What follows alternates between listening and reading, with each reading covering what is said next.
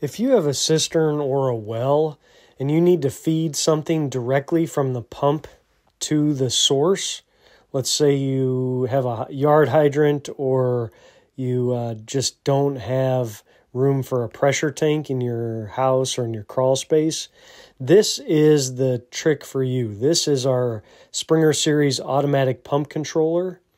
And this wires directly from the panel to this controller to that pigtail right there, and then from the controller to the cistern pump.